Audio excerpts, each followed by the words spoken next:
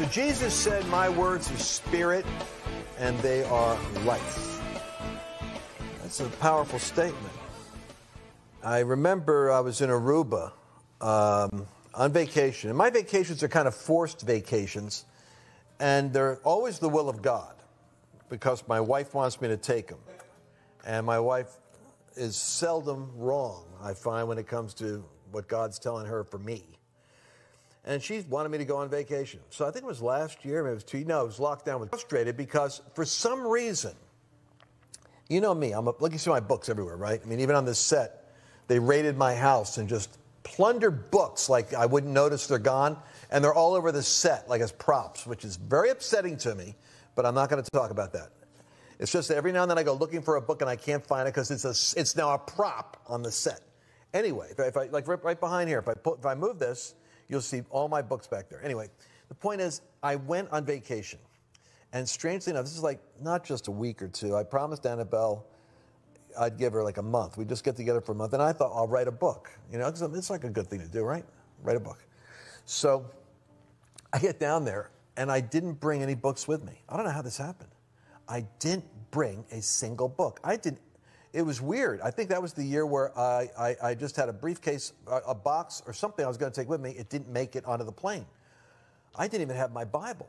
I was forlorn. And that was the year I took a Gideon Bible out of the hotel and marked it up. I mean, I, hmm. I just went through the Gideon Bible. So I'm in the island. I thought I'll go to a bookstore. They have no Christian books in Aruba. The whole nation. They even have great churches. Well, I should let me put it this way. They're all in Spanish for some reason. They're not in English. Well, I guess because they don't speak English a lot. So the um, are kind of narcissistic American. Where they're written in my language. There was only one book written in English. It was a Joel Osteen book. Now I'm going to confess something to you. I'm thinking a Joel Osteen book. Lord, I need something like you know, I get me a book by Dutch Sheets or something, or Chuck Pierce or somebody I can stick my teeth into here, a little prophetic, you know, uh, you know, meat. Joel Osteen. Well, I'll tell you what. The Lord said to me, "You need Joel Osteen right now." It's kind of a humbling experience. I said, Joel, I, I watch him, I love him, I like him, but Lord said, You need this. The entire book was so positive, it was like a detox.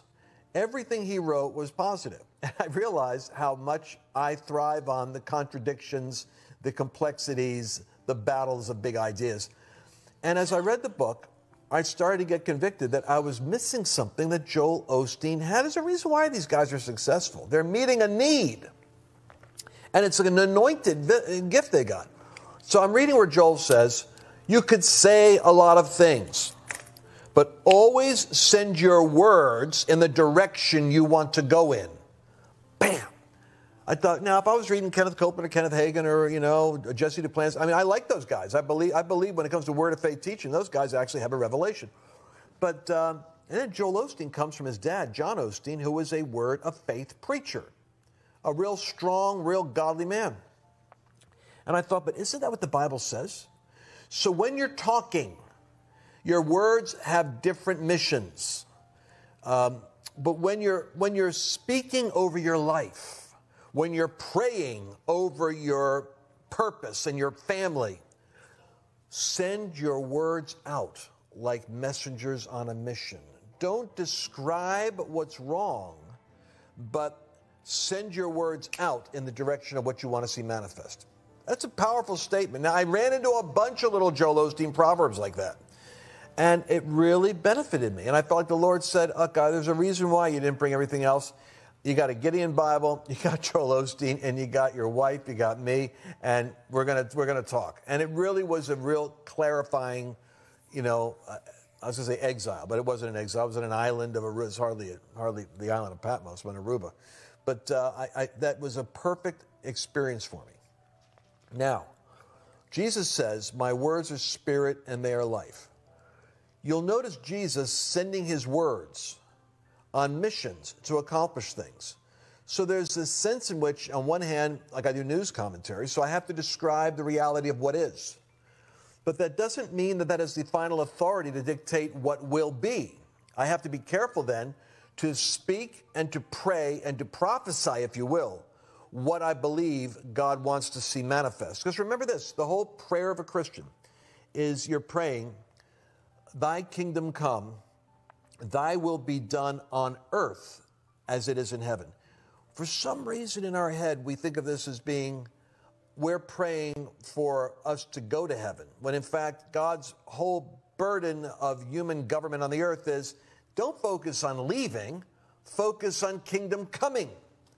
And this is a real, this is like we, religion has messed with our heads because we're always focused on the rapture and exiting. We're not focusing on the kingdom of God being manifest down here.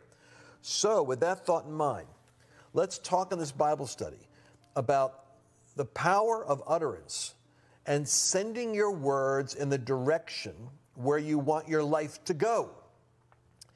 And a lot of that has to do with what gets your attention. I had an experience with a race car driver, Bob Bradbury, a friend of mine, and he was a great evangelist, great ministry, and a real power ministry. Lay hands on people and they just get it, the power of God would hit them. Kind of an interesting signs and wonders ministry, really. And uh, I talked about, I don't know, I would talk about different um, metaphors when I was doing my training and teaching, coaching with people. And I was talking about race car drivers. And he decided that rather than me talking about what I never experienced, he was going to put me doing hot laps. So I end up going off to a, a, a on my birthday. He kind of hijacks me. I don't know where we're going. We end up going to like a NASCAR racetrack up there in New England, and he had rented the track and a race car. And when I next thing I find, I have my friends that do this to me. I had, I had Mike Jacobs, Cindy Jacobs' husband, puts me in an airplane. I didn't know what we were doing for my birthday. I'm flying an airplane with an instructor. I went up for a flight instruction. He paid for me to get flight instruction, so I know how to fly a plane, at least have a lesson doing it. Well, Bob Bradbury puts me in a race car, and I get suited up. I get the helmet on. It's fire retardant, which is really freaky because you don't normally put a suit on that is designed to protect you from fire. But then I realize, oh my God, I'm in a combustible vehicle.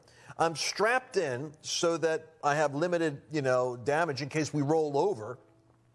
This is getting very real. It's going from being a, a teaching illustration to being a, a, a life instructor. Says, there's not a whole lot I could tell you, except I'll tell you what, uh, what, what most amateurs do that gets them hurt. He said, You're going to hit this lap, you're going to take off, you're going to go as fast as you can. That's what a racetrack is all about. And at a certain point, you're going to discover you don't have as much control over the vehicle as you want. Here's what I want you to know you're going to, at a certain point, start to go towards the wall. The amateur hits the brakes and focuses on the wall because they're trying to avoid hitting it. He said the professional doesn't do that. The professional shifts their attention to the track because for some reason, your vehicle will go where your focus flows. If you focus on the wall and what you're trying to avoid, you'll hit it. So think about this. If you focus on what you're trying to avoid, what you're trying to avoid is what you move towards. So, you know, and I thought about that for a second. I said, you know, I heard these guys that would describe on these long stretches of road out in Arizona where they find a Porsche wrapped around a telephone pole. Telephone poles are like 30 feet apart, 40 feet apart. How in the world does a, does a car wrap around a telephone pole? They're not every five feet. Well, what happens is if you're taking a corner, taking a curb, and you and you see and, and you see that you're losing control, you focus on the not hitting the telephone pole, and guess what you do? You end up somehow you end up slamming the brakes, neutralizing the wheel, and you move right towards the thing, and cars get wrapped up around poles. So sure enough, man, I started spinning out, and the car would spin and uh, and I would uh, I would find myself fixated on hitting the wall because I was trying to avoid it. Then I learned try to try their approach, and I actually was able to pull out of the spins and get back on the track. But it was a lesson learned. Your focus determines your direction. Now think about your words in terms of not describing what it is you don't want to happen, but describing what you do want to happen when we did around uh, 20 dream trips in the uh, Mexico, Cabo San Lucas, we did them in uh, other places. I don't know. We went to Lake Tahoe, I think, once. Went to San Diego, and uh, I, the the awakening for me on that was I was taking a walk around the block, South Lake, um, Keller, where I'm at in Texas, And I live in kind of like an area where in Texas it's always hot. So if you're going to go for a walk, you go early or later in the day. And I remember walking around the block and, and I was praying. And I was praying, doing a prayer walk around the block. And I can remember talking about to the Lord about um, praying and asking the Lord for what we needed to do in the ministry, where, where we're doing training and events, but we had a cash flow problem. And sometimes I was in these locations where there'd be a bar mitzvah next door. I mean, I, I had it happen. I'd be doing conferences and there's music, a wedding. It's like, oh man, this is the hazards of doing them in a, in a, rented facility. Somebody could be doing another event and you hear them through the wall. And I thought, I, and I was praying to the Lord about the challenges we're having in the work we were doing. And the Lord stops me. And this is it send your words in the direction you want to go, not in the rehearsal of what you don't want. So the Lord said to me, Pray the prayer in such a way that you frame what it is you want rather than what it is you don't want. Boom. It was like a revelation. You know, I had to walk, I kept walking like probably two or more, three laps around the neighborhood because I kept relapsing into the religious reflex of rehearsing something that was focusing on what I didn't want. Like instead of saying, Lord, we need, you know, Lord, we thank you that you're going to be providing the funds because we need this, we need The Lord said, that's one way to pray. How about this? Why don't you just describe what you want and ask me for it? I said, All right, I want to be able to have a perfect location, which is relaxing and exotic, and it's a getaway that I enjoy, others enjoy, where the work is like vacation, the vacation is like work because we're in your presence, we're with people that want to be there, people that we want to be with, and that it's and that it's it's flourishing and prosperous, and that we come home prospered rather than uh, the, rather than fatigued. And the Lord said, "There you go. Where do you want to go? An exotic location." So I started describing it. The next thing I realized is we were describing a dream trip, a trip that literally be a dream you have. The dream would be go to, and at that point I found this like real palace. It's a great exotic location by the ocean there in Cabo San Lucas. And all the meals are included. I like the rooms. It's kind of a windy, swept location. It's a really neat place. We go down there with 100 people. And I think it was like the whole week or something, or four or five days, but it was so economically priced. It was like $9.99 when we started. And it was all the meals included. And I, I don't know, the room included, however we did that. But it was like a really ideal situation where anyone could afford it, they could afford to fly there. And we would have an average of 100 people, and we'd hang out there. And I'd bring speakers down. It was like Ed Silvoso or, um, you know, uh, I had, man, Clarice Fluitt. We, I, I, people, I had friends. I want, I want to hang out with some of my favorite speakers. Let them come down and have a vacation with me, and I'll pay them. Well, we did like around 20 of these trips. And it came out of that principle of pray what you want, not what you're avoiding. Pray put your words in the direction of what you want to see happen, not what you don't want to see happen. And, and in order to do that, it's not like a not like a trick where it's like you're in your heart and in your head you're all perplexed, but I'll manipulate God with the right kind of prayer. You literally have to get yourself in a place where you're seeing that that you have authority to create the world the way you want it. And that your utterance, your words are containers and they authorize things to happen. They're like shells, bullets that go out. They contain something. My opening line in this, this Bible study My words are spirit and they are life. The idea is that Jesus' words contain something. And so those words actually go forth, and you put those words out into the future.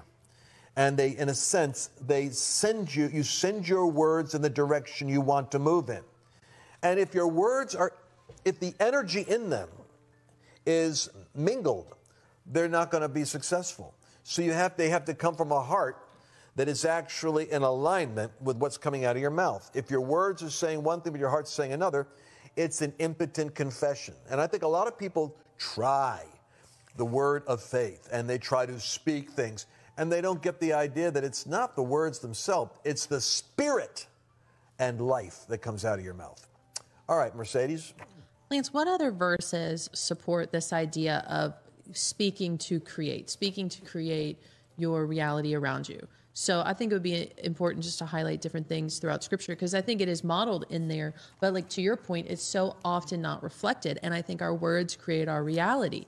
You know, one thing I love, we've got this guy, Bobby Vitale, in our life, and he's just like, he's always like fine tuning phrases. And you sit in a room with him, he's like, oh, you know, or it's like like I'm like, well, I have to do this meeting. He goes, you get to do this meeting, and it's it's little things like that, you know, and you're like, okay, that's a quick reframe, quick reframe, and so um, so more than even like these, you know, because like self help people do this, or like the idea of like the secret, or you're creating what's around you with your words. It's actually biblical principles. So that's why I was saying I'd love for you to just maybe highlight a couple other verses where we we're speaking to create our reality. Yeah. Okay. And. Um Actually, it, um, I'm going to going to find one for you that most people miss, and it's uh, it's where see if you can find it, Jonathan. It's where Jesus is at the Last Supper, and uh, he says, "One of you is going to betray me," and Judas says, um, and they also, "Is it I?" And then Judas says, "Is it I?" And then Jesus says, "It's as you said." Mm-hmm. Very powerful, missed little revelation there. Everyone said the same thing, but Jesus didn't hear their words, he heard their heart.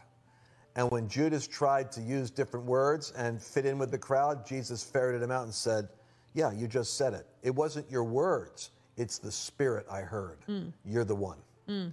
I think too. Uh, where is that? Uh, it's going to be Matthew uh, chapter 26, verse 25. All right, Matthew 26. Let's just go there real quick. And Mercedes, I don't want to lose your point, but this is a really interesting verse. Matthew 26, 25? Uh, correct, yeah, 26, 25. All right, so Jesus is there at the Last Supper. And uh, as they were eating, in verse 21, he said, Assuredly I say to you, one of you will betray me. And they were exceedingly sorrowful, and each of them began to say, Each of them began to say to him, Lord, is it I? And he answered and said, He who dipped his hand with me in the dish will betray me. The Son of Man indeed goes, just as it was written of him. But woe to that man by whom the Son of Man is betrayed.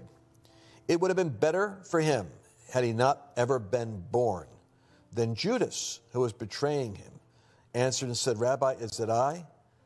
And uh, he said to him, You have said it. Wow, you catch that? Most people miss it. They all said it, and none of them caught what just happened in that little transaction because all they heard was, another guy's saying, Am I the one? And Jesus says, Yep, that's you. Yeah. And it's interesting, too. It's not in this gospel, but it's almost right after he says that Satan enters him. I think it's in John. It oh, says that he said oh, that, and then Satan entered him immediately. After and, he took the sop, Satan entered into him. Yeah, and then and then Jesus says, "What you must do, do do it quickly." Yeah, what you do, do quickly. Gosh, that's so freaky. So you got Satan entering into an apostle's body because the apostle had already made room for that in his, in his compromise.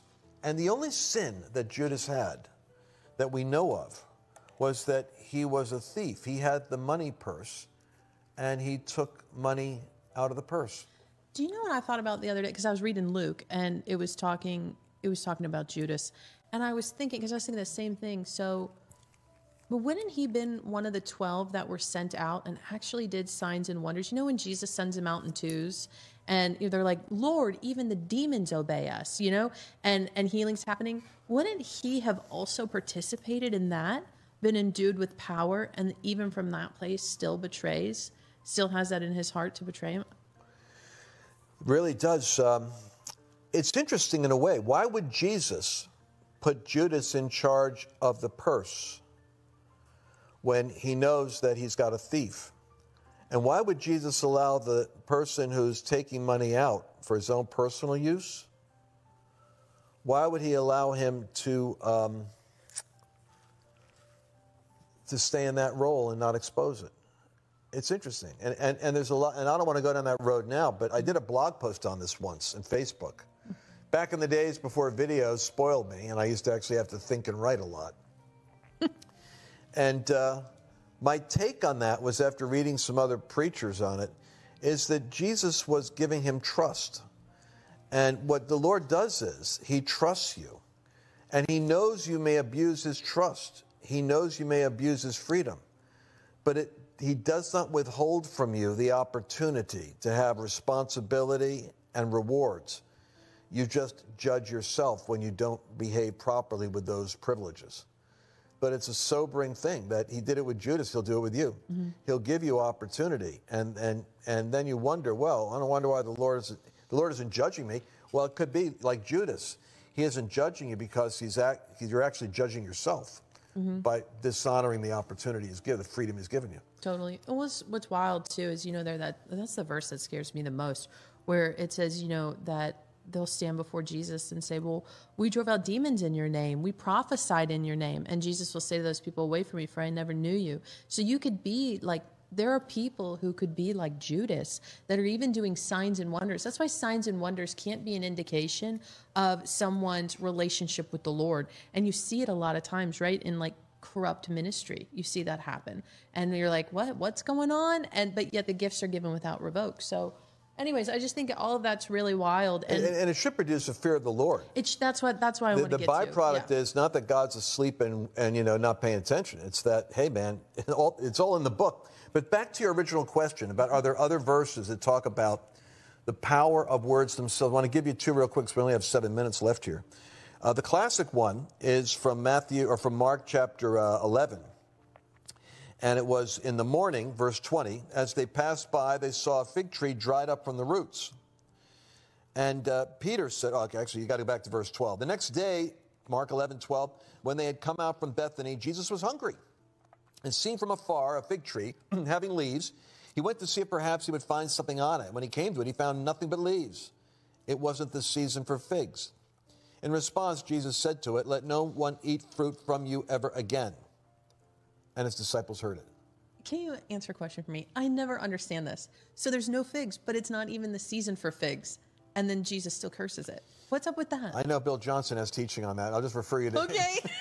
Because I only got six minutes, Okay. so I can't go down that rabbit hole right now. well, we can keep going. You just put 30 Jesus has a right to expect supernatural fruit when he when, on. when, he walks in the room, there better be figs. yeah ba- basically if, if, if if the Son of God wants it, he can get it. Yeah. Unless you unless you have the freedom to not give him what he wants, Mm. And if you withhold your obedience from him, then he'll accept your you're not going to give him what he wants. Hmm. So um, it's just kind of. But let's go with what uh, Yep, go for the it. Original. Bible study. Now in the morning, uh, as they passed by, they saw the fig tree dried up. Here's the key from the roots. And Peter, remembering, said to him, Rabbi, look, the fig tree which you cursed is withered away. It's like, hey, look at it. This is what you remember you spoke to it yesterday, and now the green, I mean, literally overnight it shriveled up, the whole tree. Jesus answered and said to him, Have faith in God. This is weird because the whole teaching of having faith in God has to do with cursing something at the invisible level until it's visibly manifest. Hmm. It was dried up not from the leaf, but from the root. The moment Jesus spoke, the root was hit. What was under the surface in the spirit realm is affected first by your utterance, and then the physical realm is manifest. But it starts in the invisible realm, is what's being taught here. So, the, so Rabbi, look, the, the, the fig tree which you cursed is withered away. And it, it only could be by divine revelation that Mark got. It was dried up from the roots. How did he know? It was as he wrote it, the Holy Spirit revealed to him. Mm-hmm. It was, it started in the roots up. And Peter makes that comment. So Jesus says, have faith in God. And many people have had a problem with this in the original language because it says, have, it's all in the idiom, it's all in the grammar. Have faith of God, have faith in God, have God's faith. It's all variously described.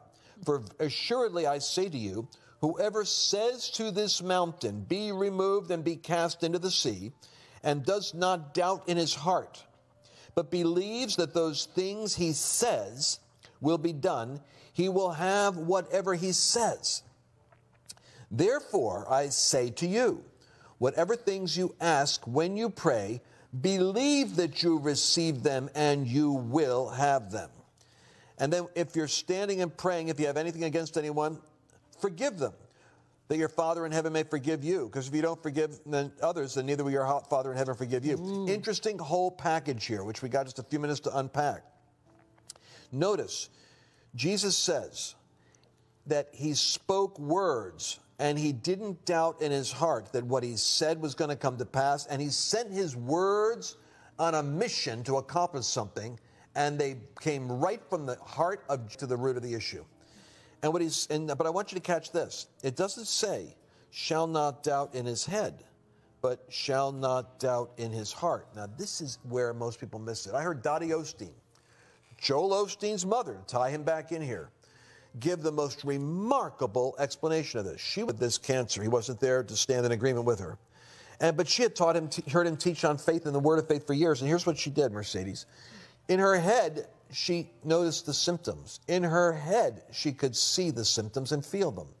And she said, where most people miss it is, it's not have no doubt in your head because your head is under siege. Your head is exposed to your heart where you keep the faith. Mm. So your head, you could say, look, I'm having a battle right up here, but down here, I'm feeding myself on the word of God. I know what God wants and I believe it's going to happen a certain way. So you're not doubting, not in your head, but in your heart, which means the deepest part of you actually is in agreement with the outcome. Even though your head is up and down and in and out, which is a powerful delineation on this. I never heard people teach. So they said to her, Well, have you gone to the doctor and confirmed that you're cancer free? She goes, No, I never did. I never, I stopped taking, I stopped going to the doctor. I, when, he, when he said it's over, I just said, well, they're going to pull me through. I've been believing in my heart I'm healed. And I never went back to the doctor. No, it's 30 years later. I haven't been there. Well, it doesn't really matter. Hmm. She ain't going because yeah. she wasn't the doctor's verdict. She didn't need more information in her head anyway. Her heart told her something different. Mm. So catch this again. You have to believe in your heart, not your head. Where in your head you could start to whittle down the doubt and start to starve it. But you don't, sometimes you're in a race against time. You don't have enough time to totally beat your head game. You got to go to the heart of it and get a word from God and hold and nurture in your heart in spite of symptoms in my heart. I'm holding on to something. And then believe in your own utterance because it does not doubt in his heart, but believes the thing he says comes to pass. Mm. That means you have to actually have confidence that your words have power. You can't be saying, well, I'll try it. If you try it, it's like having a gun and going, I don't know if it shoots or doesn't. Well, try it. Shoot it. If it's a physical gun, boom, consequences come out. So, what the Bible's saying here is believe that the things that come out of your mouth have an effect. Mm. So it might start with you getting a revelation that the law of utterance is a sacred phenomenon. God says, Oh, trust me, your words actually have consequence. Speak the wrong thing in a crowded room and see what happens. Speak the wrong thing to your spouse and watch the wrong thing over yourself. Mm-hmm. Speak the wrong thing to God. And this goes into one final piece that I think is incredibly important. And it's in Daniel. Jonathan, look up the verse. I have come for thy words. Daniel chapter 9, where he's praying. So Daniel is in intercession, and he's praying and wrestling over the fate of his nation. He is in exile in Babylon. He's experiencing in his head contradictions because he's battling the prince of Persia. But in his heart, he is holding on to God and speaking and praying as a prophet. And as he's praying, the angel Gabriel, being caused to fly swiftly, comes to him and says, Fear not, Daniel, for uh, I have come for thy words.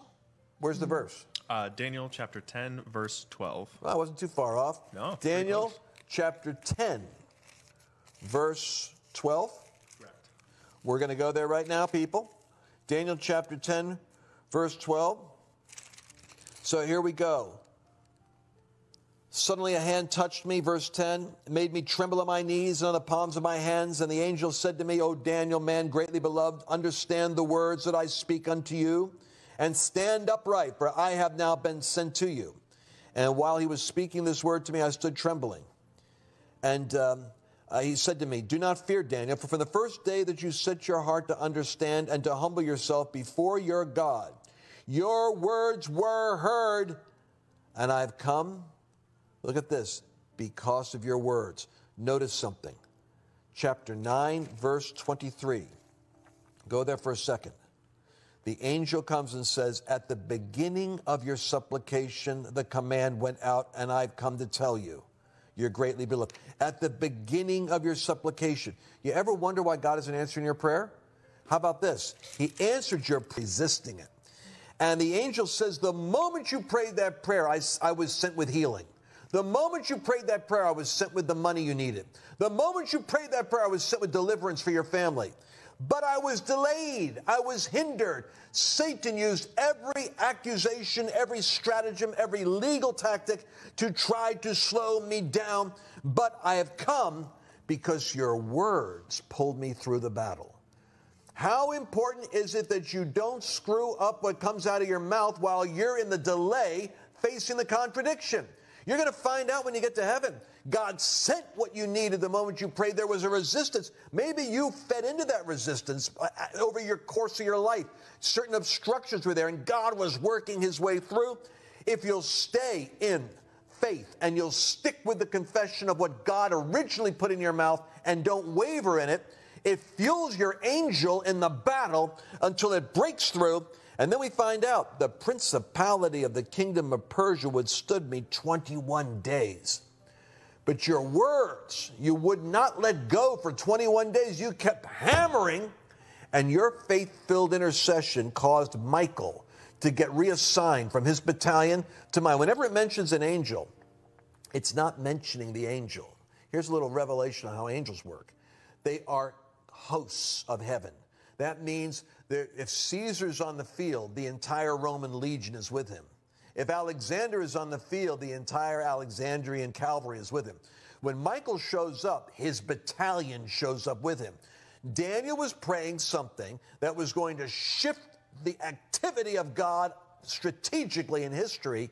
Therefore, angels were sent to break through against battalions of darkness in position over the nations.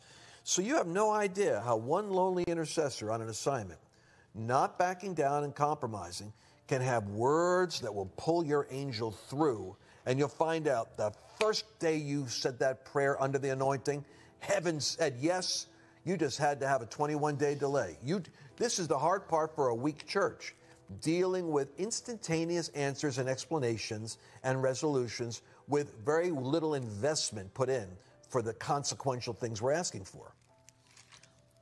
I love all this, Lance. I was thinking too about Genesis, how we're made in the image of a creator God, and how does God create? He speaks things into being. So we're very much made in the image of God. So we too speak when we create.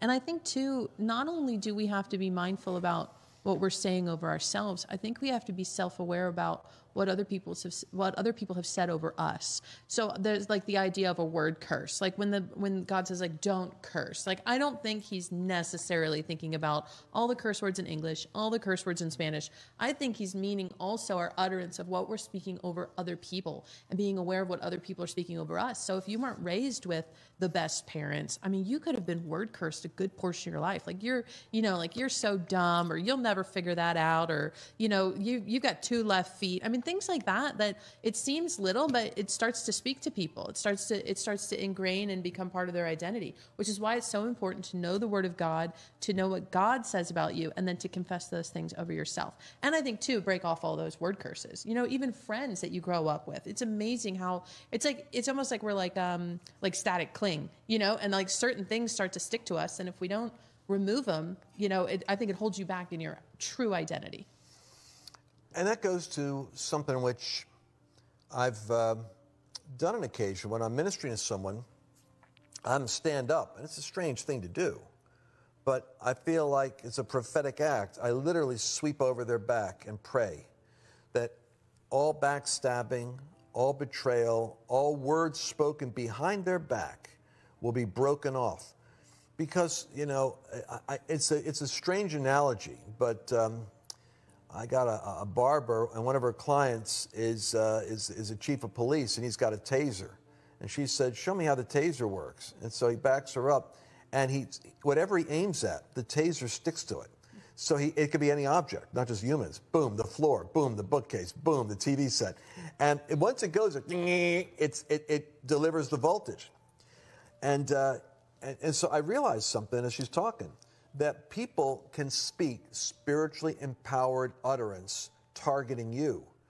And one of the reasons why you've got to learn how to, the way that you break all these things off you is because those taser words are stuck on you and you don't even, you're walking along and all of a sudden someone is released. Because if this works for the kingdom, how does a, a Satanist, a witch, or even an, uns, an unsuspecting Christian become a vehicle for the devil?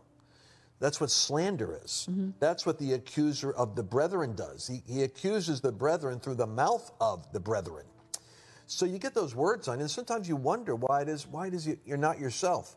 Well, for all you know, there's the un, the unseen realm, and that you need that divine hand to sweep over your back and break that stuff up. By the way, this is one of the words that describes God in the Hebrew. I am your rear guard. Excuse me. Abraham had that revelation from God. God said, You know what? You picked up some fights here that are going to be getting you in trouble in the future. You got these kings, they're not going to forget what you did to them when you're 300. When they figure out you're only 300, they might come for revenge.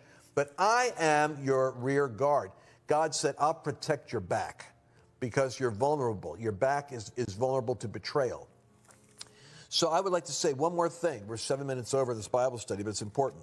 What can short circuit the power of your faith in your words or your heart to believe is uh, meditate upon the Word of God day and night so at least you're giving your brain something that it can feed on to push out the doubt and the unbelief. You've got to give your brain fuel. But the thing that, thing that can short circuit the power of divine utterance, confession, is unresolved bitterness, resentment, and unforgiveness towards what other people have done to you. That's the weird thing, huh? So, in the courts of heaven, if there's a trial going on and Satan can hold back a blessing, he's going to bring up what about them and their attitude towards so and so? That becomes the argument Satan uses for 21 days of delay, which is interesting to me that in chapter 9, as we close out, you want to know how to pray for America? And we talked about this before, Mercedes. You're more tuned in on this than me because I maybe need to be more convicted on this.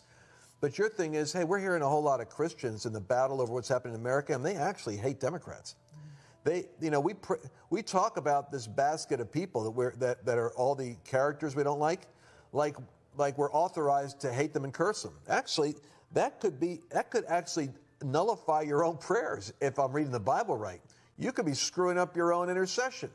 So, what does Daniel tell us about how to pray for America? He prays in chapter 9. And he sets, what was the words he was praying that caused Gabriel to break through? What was his faith filled words? They were actually words of intercession.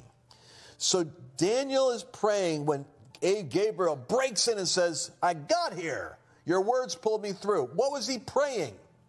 He was speaking and praying, verse 20, chapter 9, confessing his sins and the sins of his people, presenting my supplication before the Lord my God for the holy mountain of my God.